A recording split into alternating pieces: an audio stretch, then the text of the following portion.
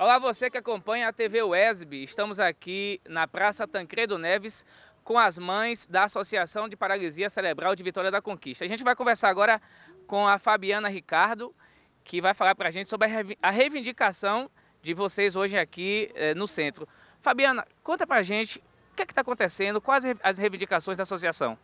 Nós estamos reivindicando hoje as fraldas, que há mais de 30 dias não chegam, certo? As que tinha antes, anteriormente, era a fralda que não dava nos nossos filhos, certo? E a gente tem prova disso, certo? É, as medicações das crianças que estão tá em falta, a atropina, por exemplo, está em falta, sondas, que também está em falta para as crianças, para a sondagem delas. O cartão do ônibus, que eles estão reivindicando, que algumas mães vêm pegar é, medicação, vêm fazer alguma coisa para os filhos, eles estão cortando porque a mãe não tem direito de usar o cartão, certo? sem a criança. Isso é a prefeitura? Isso é a prefeitura, certo? A gente está reivindicando uma posição da prefeitura hoje para com a gente.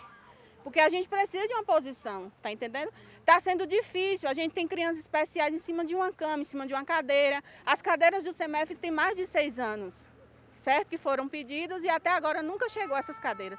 As crianças do CEMEF estão tá tendo alta certo? A gente não entende o porquê dessas altas. Crianças é, é, com paralisia cerebral, têm que ter manutenção de fisioterapia. Por que está dando alta essas crianças? Vocês já procuraram a prefeitura, o que, é que eles falam?